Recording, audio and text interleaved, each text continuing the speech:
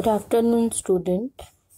In lesson number 6, Compositions of Matter, we saw the solid, liquid, and gaseous states. In solid, the particles are fixed and definite position. It is strong enough to hold them together. Fluid means in liquid, their shape is not definite but change in accordance with the container.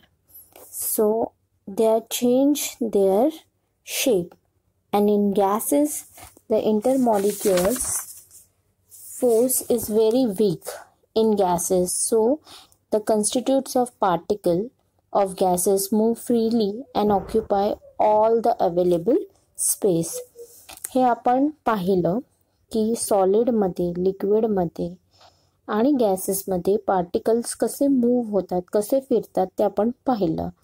सॉलिडमध्ये ते अत्यंत कमी प्रमाणात move होतात. ते जवळजवळ fix असतात. त्याचा shape कधीच चेंज होत नाही. लिक्विडमध्ये ते चेंज होतात अकॉर्डिंग टू कंटेनर ज्या कंटेनरमध्ये ते जातात त्या कंटेनरचा शेप घेतात. आणि गॅसेसमध्ये त्यांच्यामध्ये आंतररेणवीय बल अतिशय कमी असते. त्यामुळे ते गण मुक्तपणे संचार करतात आणि जेवढी जागा त्यांना मिळेल तेवढी जागा ते ऑक्युपाय करतात. हे आपण लास्ट व्हिडिओमध्ये पाहिलं आहे. आता आपण काय पाहणार आहोत? Characteristics of a state of a matter म्हणजेच मूलद्रव्यांच्या अवस्थांची वैशिष्ट्ये. काय आहेत ते आपण या तक्त्यात पाहणार आहोत. In this chart, there is a seven parts. We go one by one. First one is a physical state of matter, म्हणजे द्रव्याची भौतिक अवस्था. We know that solid, liquid and gases. Now, fluidity, rigid, plasticity and elasticity.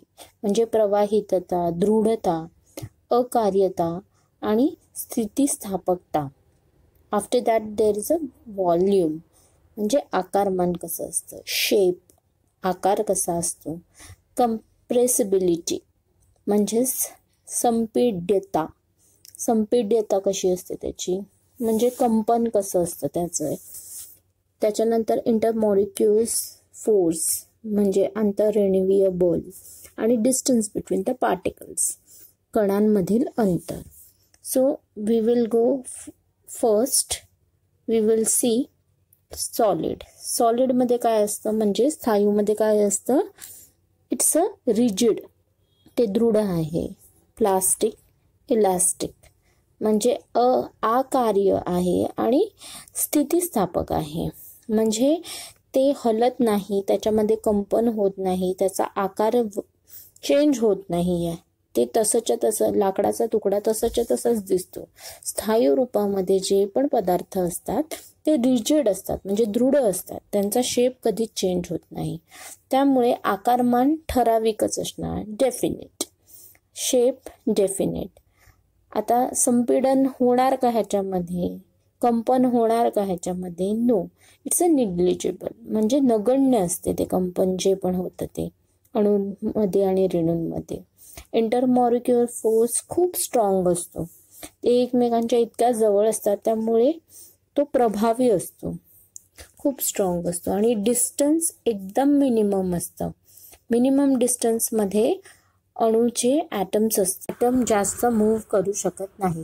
Second one is a liquid it's a fluid fluidity आहे त्याच्यामध्ये. Volume definite आहे. Shape indefinite आहे. Compressibility very small intermolecules moderate and distance between particle moderate म्हणजेच द्रव हे प्रवाही आहे. त्याचे आकारमान ठराविक असते पण अनिश्चित असते. ज्या कंटेनरमध्ये टाकतो त्या कंटेनरचा शेप ते घेतं. संपीड्यता कमी असते खूप कमी असते. त्याच्यानंतर इंटरमॉलिक्युल म्हणजे आंतररेणवीय बल मध्यम असतं. आणि कणांमधील अंतर देखील मध्यम असतं. लिक्विडमध्ये तुम्ही बघू शकता कणांमधील अंतर कमी आहे मध्यम आहे ते. आफ्टर दॅट गॅसेस गॅसेस म्हणजे वायू. फ्लुइडिटी आहे त्याला. गॅसेसला फ्लुइडिटी असते म्हणजे प्रवाहितता असते. व्हॉल्यूम इनडेफिनेट असतं. शेप इनडेफिनेट अनिश्चित शेप असतो अनिश्चित व्हॉल्यूम म्हणजे आकारमान देखील अनिश्चित आहे. त्याच्यानंतर कॉम्प्रेसिबिलिटी व्हेरी हाय खूप जास्त असते.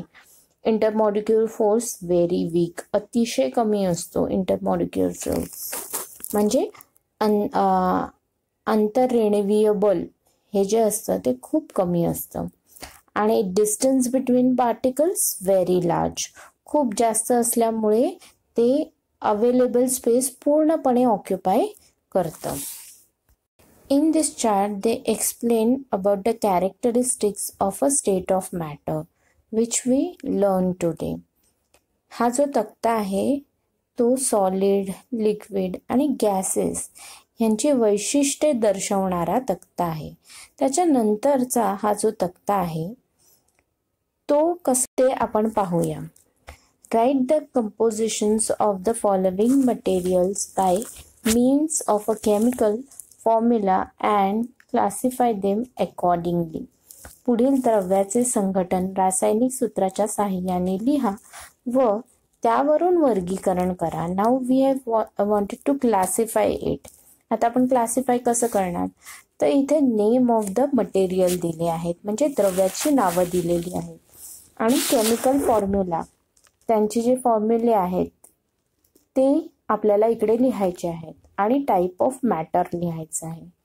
तर ते कसं करणार आपल्याला? आता फॉर एक्झाम्पल मी तुम्हाला काही उदाहरणं सॉल्व करून देते. त्याच्यानंतरचे तुम्ही सॉल्व करायचे.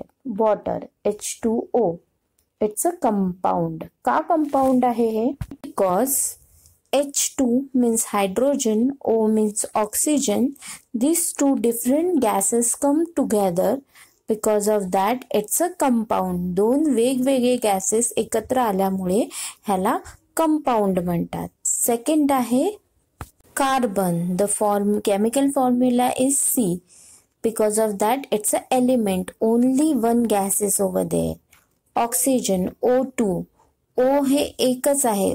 टू टू टाइम्स आहे. म्हणून ते एलिमेंट आहे.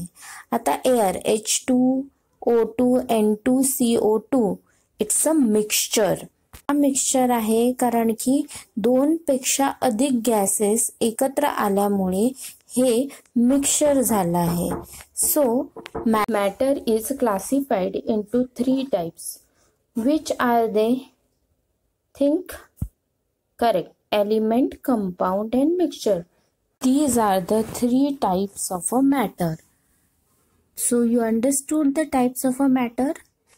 The smallest particle of an element contain identical atom. Atoms O2 is equal to oxygen. The smallest particle of a compound are formed by joining two or more types of atom to each other दोनपेक्षा जास्त किंवा दोन atoms एकत्र आले तर for example water H two ओ म्हणजे वॉटरचा formula the smallest particle of mixture are atoms molecules of two or more elements compound. For example, N2, nitrogen, H2O, water, O2, oxygen, and CO. O2, CO2.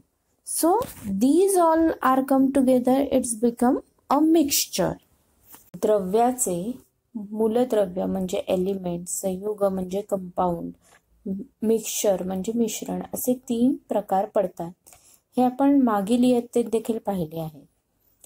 एका मूलद्रव्यातील किंवा एका संयुगातील सर्वच लहान कण म्हणजे अणू आणि रेणू हे एकसारखे असतात. मात्र मिश्रणातील लहानात लहान कण हे दोन किंवा अधिक प्रकारचे असतात. हे आपण आता इकडे पाहिले. सगळ्यात महत्वाची गोष्ट काय आहे ह्याच्यामध्ये? एलिमेंट्समध्ये एकाच प्रकारचे गॅसेस असतात किंवा एकाच प्रकारचे अणू असतात. कंपाऊंडमध्ये एकापेक्षा अधिक अणू आणि रेणूंचा समावेश असतो आणि मिक्सचरमध्ये खूप सारे गॅसेस एकत्र येतात. फॉर एक्झाम्पल नायट्रोजन ऑक्सिजन त्याच्यानंतर एच टू ओ वई इत्यादी. सो तुम्हाला एलिमेंट्स म्हणजे काय कंपाऊंड म्हणजे काय आणि मिक्सचर म्हणजे काय हे आता समजलं असेल. तर आजचा अभ्यास हा आहे की जो तक्ता आहे पेज नंबर चाळीसवरती तो मी अर्धा कंप्लीट केला आहे बाकीचा तुम्ही कंप्लीट करायचा आहे. आणि एलिमेंट म्हणजे काय कंपाऊंड म्हणजे काय आणि मिक्सचर म्हणजे काय ह्यांची डेफिनेशन लिहायची आहे. तक्त्यामध्ये तुम्हाला नेम ऑफ मटेरियल दिलेलं आहे आणि केमिकल फॉर्म्युला आणि टाईप ऑफ मॅटर लिहायचं आहे. तर केमिकल फॉर्म्युला लिहायचे आहेत आणि मग त्याची एलिमेंट आहे कंपाऊंड आहे की मिक्सचर आहे ते लिहायचं आहे. आणि आज मला पाठवायचं आहे. That's it for the day thank you